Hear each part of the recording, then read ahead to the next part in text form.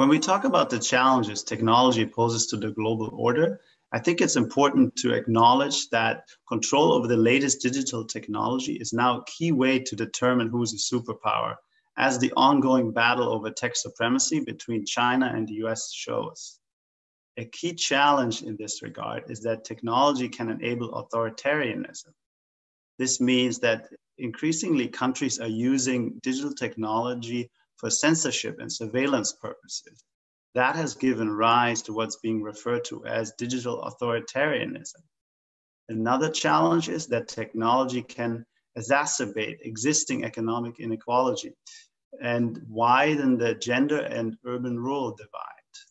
Last but not least, advanced technology is also increasingly being used in warfare setting, which poses another challenge to the global order. In my opinion, the EU has a very important role to play in all of this. It should, in cases of egregious human rights violations, consider imposing sanctions. As a self described uh, regulatory superpower, the EU should also promote an internet governance model that fully respects human rights, such as freedom of expression. Also, as a lot of the surveillance equipment that is being used in many countries around the world is being exported from the EU, the European Union should strengthen its export control regime on dual use items.